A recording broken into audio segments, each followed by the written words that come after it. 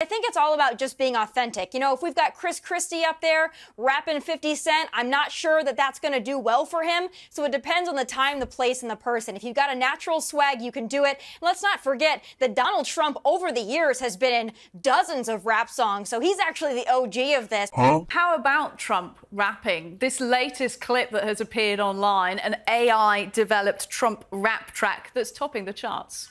They tryna lock me up, but I'm plugged in in ATL. Got homies doing life in jail, they living in hell. These DAs acting silly, my mugshot is worth a billy. So some merchant made a milli, shot me Millie out in Philly. Shot the baby, shot the Sosa, Benny Butcher, them my rollers. Called me racist, but these rappers riding with me, them my soldiers. Forgiato, is that is that any good in your mind? Yeah, I think it was great. It's great for the culture. Any song that shouts out Benny Johnson, I love it.